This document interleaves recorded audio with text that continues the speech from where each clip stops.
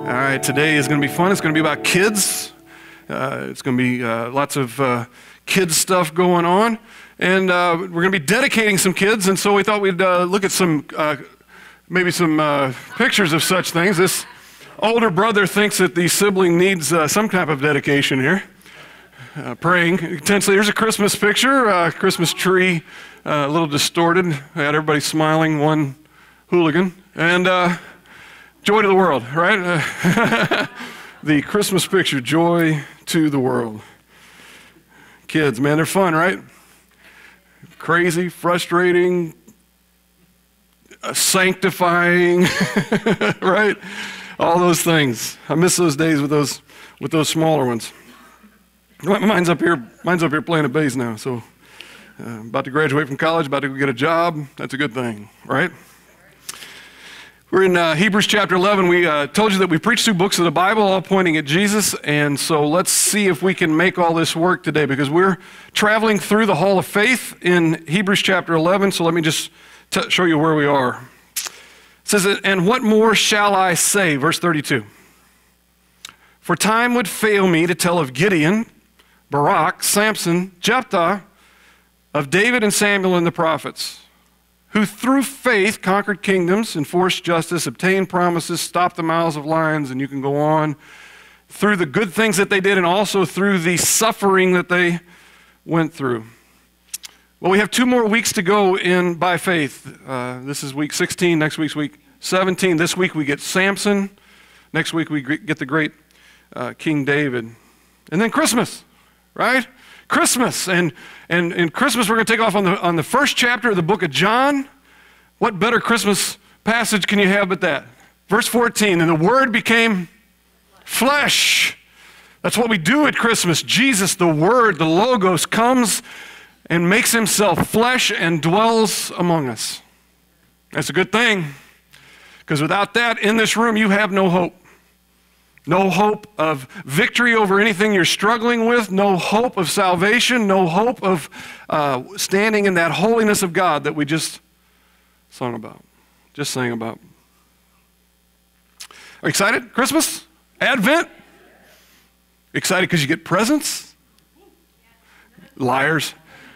That's like the, it's like the, I can't nod my head yes at the pastor response right there. But Advent is here. Do you know what Advent means? That means Christ has come. It means arrival. The word Advent means arrival. And the good news is that there was an Advent some 2,000 years ago where Jesus, the Word became flesh, showed up. There's going to be a second Advent where He comes and all things are made right. And I hope that you look as forward to the second Advent as you do this Advent season because that's going to be a, a glorious thing. But our big idea this morning is this from Samuel. And if you have a Bible with you, we're going to be in uh, 1 Samuel. We could go all over 1st and 2nd Samuel, but I'm just going to stay right in the first three chapters of, of 1 Samuel today. Here's our big idea Samuel's the kind of faith story you want for your kids. I mean, if you, while you're pregnant, went, I want this.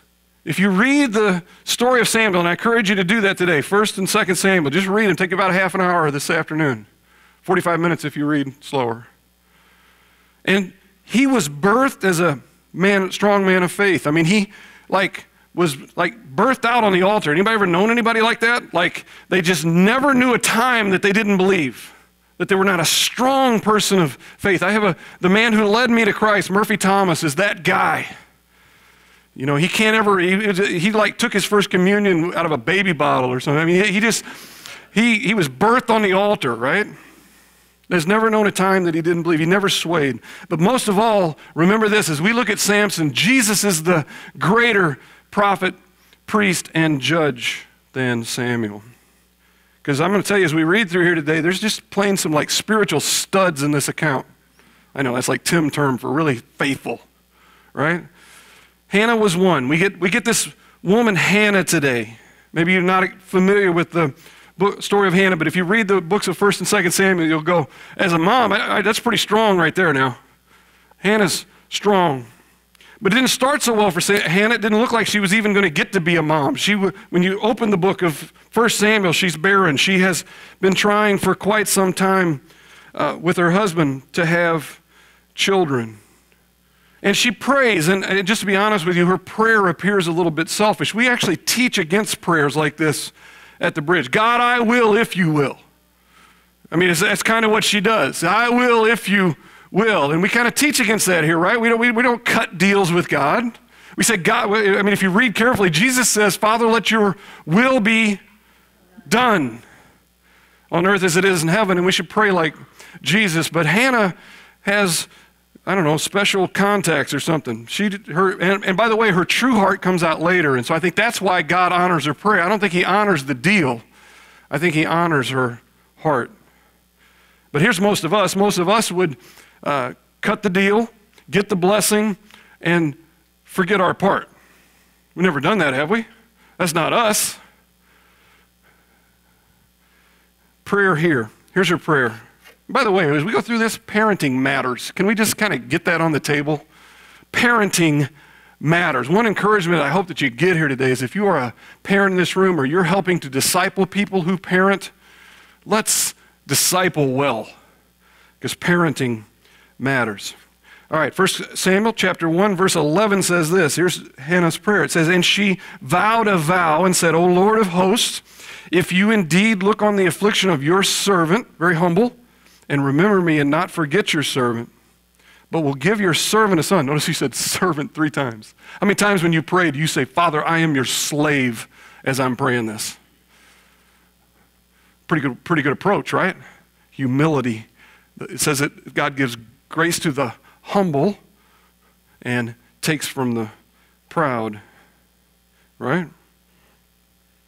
Then I will give him to the Lord all the days of his life, and no razor shall touch his head. And we know that means she's going to dedicate him to be a Nazarite, like Samson, and yet not like Samson. Samuel is nothing like Samson. And God responded to Hannah's prayer. Look at this, verse 19. They rose uh, early in the morning and worshiped before the Lord. This is Hannah and her husband, Elkanah. And they went back to their house at Ramah.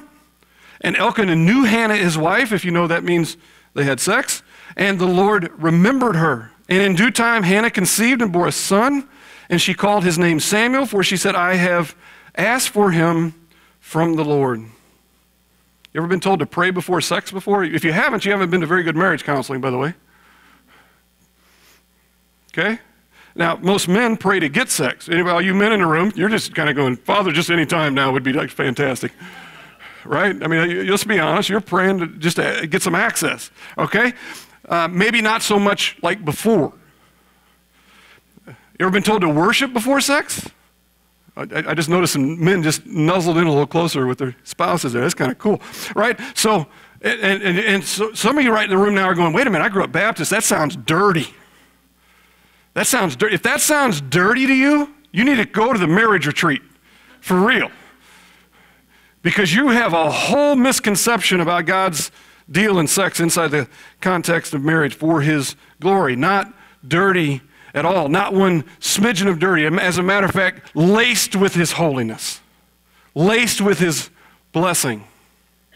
It's a great gift. But this worship session that we're talking about right here lands in a child who would be one of the great men in history, in the history of man. So Samuel then gets dedicated to the Lord. Hannah does what she said she would do. She says, I will dedicate him to the Lord. He will become a Nazarite. As a matter of fact, she goes so far as to leave him with the priest Eli and go home. He's about two. So you moms can contemplate this. Your two-year-old, I mean, some of you might want, might want to leave your two-year-old with the priest Eli, but he gets dropped off there, and it's like going to like military school or something, right? But she is get, she is out in an act of worship. She's not getting rid of the child. In an act of worship is is um, doing what she said she would do. So, uh, like in verse 28 of the, of the first chapter, there says, "Therefore I have lent him to the Lord. As long as he lives, he is lent to the Lord." And he worshiped the Lord there. So Hannah does what she said she would do. She dedicates the child. Now, we're going to have some parents come up here. It's going to be a fun day with their children. That needs to happen like real soon here. And they're probably going to not, they're probably not going to take their child and drop them off here at the church for the priest to take care of. I don't even know who that dude is. No. No. I'm like the, I'm like the crazy grandfather that you only want him, your children to go visit for like about a half an hour, right? Amen. but Hannah is a woman of her word here. So uh, we do here, instead of dropping children off, we do dedicate children. We don't, we don't christen them, we don't baptize them, but we do dedicate children here, and we dedicate their parents. So that's what we're about to do. Here's what we dedicate them to we, we dedicate them to the gospel. The, that Christ and his finished work will be all they ever know. Did you catch that? How about we dedicate these children that Christ and his gospel will be all they ever know, all they ever need? That they feel the love of Christ. I have, a question for every one of you in this room. Do you feel loved today? A bunch of you are, I have qualifiers on that. I, you know, I'm not sure. My daddy didn't love me very well. Um, uh, my mom, so so. Uh, my friends are about half sorry. I'm not even sure my husband, whatever, whatever your response is, uh, I want you, before you leave here today, to understand that you're loved. And I want these children to understand that they are loved with the love of Christ, a love that goes so far that he said, I'll die for you. But that love sometimes comes in the form of encouragement and rebuke, right? Anybody ever been reminded that? Your mom and dad ever remind you that? I encourage you, but also I rebuke you. and you just gave up your iPhone for six months in the rebuke. But here's the biggest thing out of the morning that they learned that the highest calling of any human being is that as a worshiper of Jesus. If you said, what, what, could I, what could I give my son like Hannah wanted to gift Samuel? It would be that I understand that my highest calling on earth is as a worshiper of Jesus Christ. So let's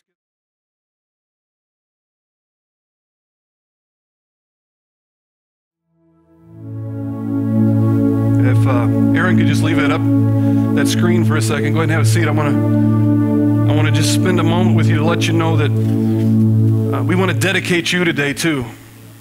And honestly, in our context today, uh, if you had a good father, bless you. you, had a, you had a blessing straight from God. But in our culture today, there's a lot of times we didn't. And so here's the good news of the gospel for you the Heavenly Father above loves you. Yes? Yes? And so, regardless of if you had an image bearer as a daddy or not so good a one, you are loved today by a Heavenly Father that embraces you and says, Today we can dedicate all the children of God in this room. And so we take the time to sing a song that declares the goodness of the Father. Listen to what it says. This is a promise for you, and God always fulfills his promise. See, that's what Samuel believed, that God always fulfills his promises. It says, Know therefore that the Lord your God is God, the faithful God.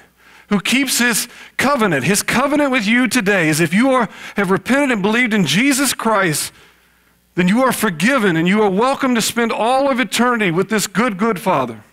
That's his covenant to you. So you can take that as a promise and you can cling to that. That no matter what you're going through in this room today, no matter what your life looks like, that you can feel joy in the midst of whatever you're going through because you have a good, good Father who keeps his covenants and he has a day for you full of joy, even if you don't feel joy today and steadfast love with those who love him and keep his commandments to a thousand generations. That means all eternity. That means infinity. That means 350 billion years from now.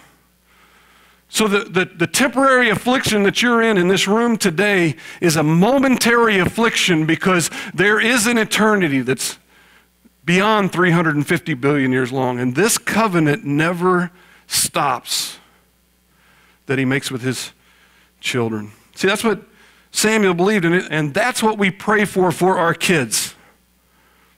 You know, I think we spend time praying, God knock this fever off, and God really wants us praying, okay, we'll, we'll learn something about you while we're dealing with this fever, but really, uh, it's not so much about this fever. It's about will this child, will Samuel love and be faithful throughout his whole life and then throughout all eternity? We got to change. We got to get our eyes off the momentary affliction and on to the prize that is Christ Jesus. And I, here's what, I recommended that you go read 1st and 2nd Samuel because Samuel is not like Samson. We looked at Samson last week. Samson's this sex freak, this, he's got a problem with women. He really never had a faithful moment in his entire life until his last breath. But he was chosen at birth to be a child of God, and so he's in heaven and he gets into Hebrews 11 by God's grace alone. Samuel's a different story. He's not like Moses, the murderer. He's not like uh, King David, who uh, committed adultery and murder. He's not like Abraham, who kept giving his wife to Egyptian kings, right? Samson's not, I mean, uh, Samuel's not like those guys. No, he was solid birth to death. I don't know about you, but I would probably rather raise Samuel than Samson. So why not pray for Samuel, for these kids, for these parents? Now, he had some tough days. You, you know, I don't know if you'd have wanted your child to be the one who had to go run a sword through an evil king because punk Saul wouldn't do it. Or that had to predict the death of Eli, the worthless priest, because his sons were sleeping with women at the entrance to the temple and he had to go say, Now your sons are going to die, and then a little later on, because you haven't fathered your children, you haven't parented, you're going to die. Samuel had to go deliver that news. That probably wasn't a fun day. Or how about confronting the great King David right before Psalm 51? Oh, the one is you. You're the adulterer, and you're the murderer, the one who has offended God. That had to be a comfortable day for Samuel. We won't even tell, we won't even tell Uncle Henry that we can't stand the way he picks his teeth at the dinner table. Let alone confront the great King David about his sin. But as you read today, if you do go do that, don't, don't focus on the spectacular.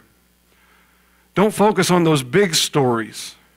Focus on that Samuel was the one who loved God because he understood that God first loved him and he never swayed off of that. He was faithful.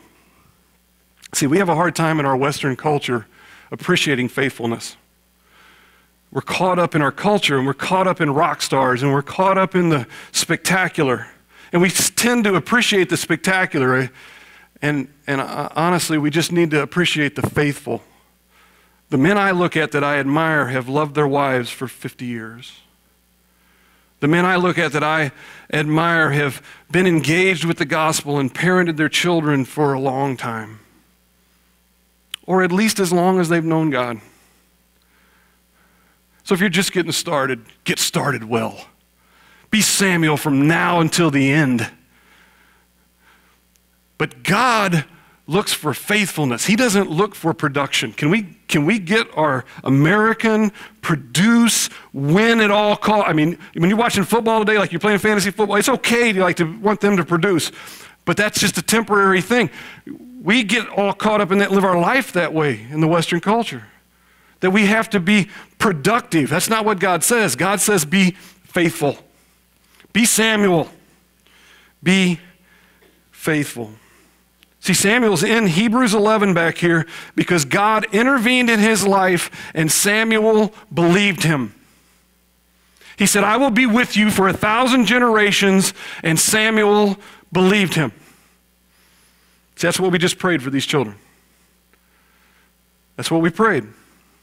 Sinners, parents, sinners, radically changed by the gospel of the Lord Jesus Christ, radically changed by the life, death, and resurrection of Jesus to just faithfully walk in Him.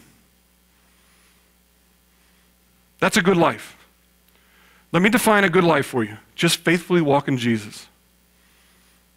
Day to day, faithfully walk in Jesus. Believe in Him. But the story goes on for Samuel. Israel needed a faithful priest. Eli was weak. Eli was an okay guy. He wasn't evil himself. But we all know good guys like that, right? Their sons are going crazy. They're kind of good guys, but they don't have the spine, the backbone to raise their children. But just remember this as we look at Samuel the priest, he was only pointing to a better priest. Let me read this to you. Second chapter Samuel. Verse 35, and I will raise up for myself a faithful priest, God says. God says, I will raise up for myself a faithful priest. Eli won't do it. The people keep failing. The judges keep failing. The people keep forgetting me. I will raise up a faithful priest who shall do according to what is in my heart and in my mind. There will be somebody out there who will obey me. And I will build him a sure house, and he shall go in and out before my anointed forever. And who is that on the short term? That's a serious question. Who is that on the short term? Samuel. Who is it in the long term? Jesus. See, it's never, here's this faithful guy. There's only a point of the faithful guy to the, the faithful one, the greater priest, Jesus, the greatest priest, the coming priest who would earn his people access to the throne. Do you understand? Everybody understand what a priest is? A priest is someone who uh, makes petition to God on behalf of the people. All of you in here are priests. You should be praying for each other all the time. God, I, I, I did it for you a while ago. God, I ask that your Holy Spirit descend upon these place. May these people feel loved today. May they feel encouraged by you, the faithful God. That's, that's pleading with God. God, uh, this person has cancer. Would you heal them? We believe that you still supernaturally heal. Would you heal them? That's priesting. I'm, I'm pleading with God because you know what? Jesus earned me access to the throne of grace so I can talk to God directly about what I is in my heart for people. That they may give him great glory because he responds to the prayer in whatever way he deems necessary. But also a priest, also a priest is one who, who speaks to the people on behalf of God. And so you all are to priest each other and remind each other of the gospel on a daily basis. I didn't pray up here that these kids get uh, learn how to follow the rules. I didn't learn that. I hope they do. But I prayed that the parents would remind them of the gospel of Jesus, who's the only source to being good, the only source to truly follow the rules, the only source of all goodness in the world. You hear the difference? That's priesting each other. I priested the kids. I don't know if that's a word. But we had, it had to be done in those days. I want you to pay attention to the next scripture verse here. Verse, verse 1 of chapter 3. It says, Now the boy Samuel was ministering to the Lord. First of all, that's what you want your children doing.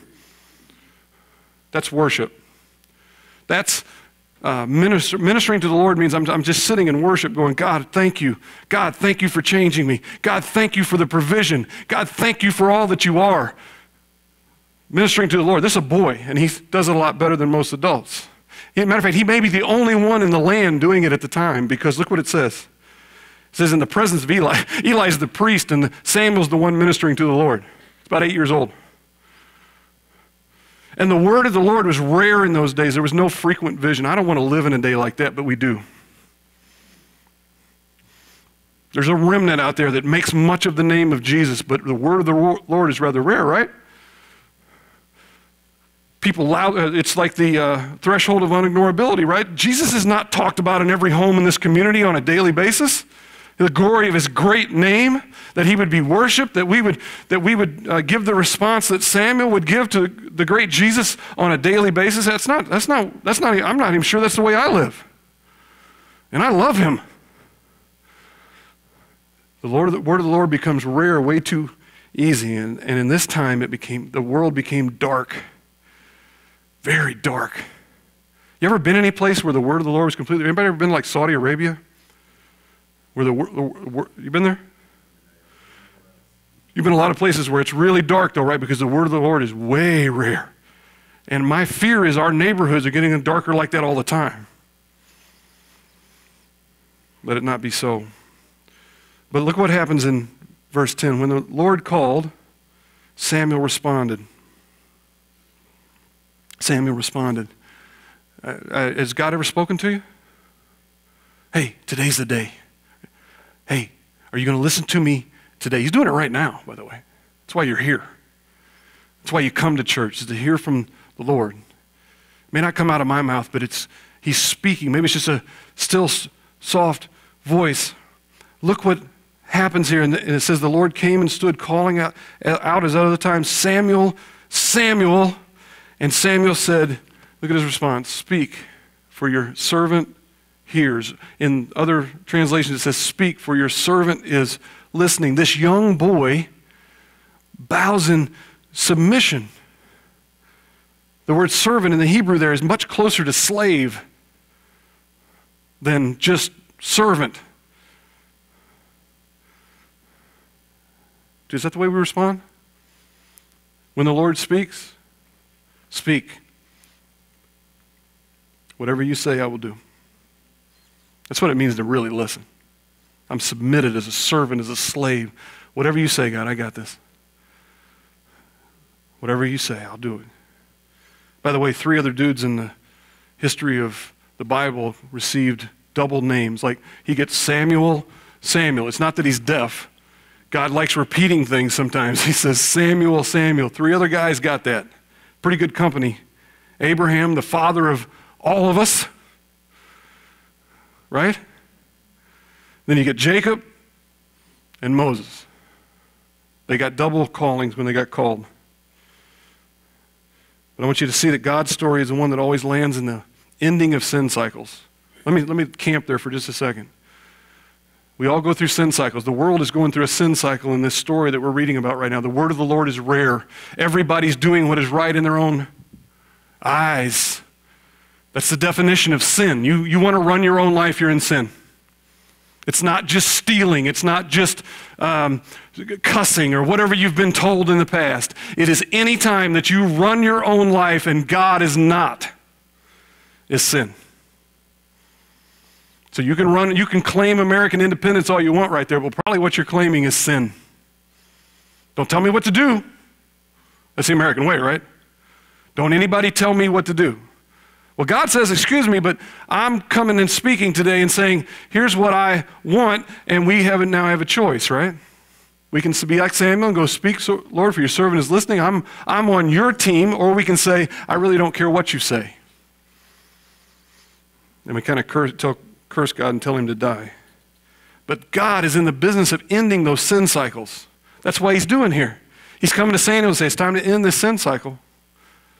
I got some people I'm going to raise up. We're going to do some amazing things. And that's what he's saying to you today. Whatever you came in here with, whatever struggle, whatever strife, whatever way you're trying to run your own thing, it's failing miserably because you're not trusting in the Lord. And he's saying today's the day that we end the sin cycle. See, Samuel's a transition judge. That's all I would want to be is like a transition cat for you, just a transition prophet that would say, hey, there's an answer. There's a better answer than what you're trying. Listen to the Lord. Don't listen to me, listen to the Lord. Listen to what he says. Because God is all about promise. So, my question to you when God speaks, do you listen? Are your ears receptive to whatever he says? Do you pray, God, here's my list. I would appreciate it if you would run this off for me. Or do you pray what, how Jesus taught us to pray, Father, your will be done on earth as it is in heaven. In other words, in my life as much as it is with the angels right around you. So do you listen? And are you God's servant? I say, learn from Samuel. And even more than that, learn from Jesus. You know, at some point, God the Father knocked on Jesus' door. He said, Hey, Jesus, uh, it's time. It's time for you to go down, and I don't know how they worked all this. Somehow the Holy Spirit impregnated a 13 year old girl, and it was Jesus in the womb. God Himself, a submitted servant who said, Father, when you tell me to go down, I'll go down. And not only will I go down, when you tell me to go down and go to a cross, I'll be obedient even to a cross. So we learn from them because we're not asked to be productive. Jesus was just faithful there. Jesus wasn't, wasn't trying to be a rock star. He's king, but he wasn't trying. He's just being faithful. He's humbly being faithful. So stop trying to be productive and let's learn to be faithful. See, Samuel's life is amazing. He, he's not a clown. He's not, we, we would expect to see him in the hall of faith. You know, when we get to Samson, they go, what? Jephthah, what? He killed his daughter. What? You know, we're going, what, what are those guys doing in there? We get to Samson, we go, that guy ought to be in there. But you know what he is? He's the elder brother out by the fence. He's the one who's always done right, but his only access to the kingdom was to trust the God of Jesus, to trust Jesus. He's a faithful man. Are you a faithful man? Are you a faithful woman? Because this man who walked his whole life faithful to God is listed in chapter 11 of Hebrews because he also, as much as those clowns who had to get into heaven by sheer grace, got in exactly the same way by chapter 12. Let me show you what that says again.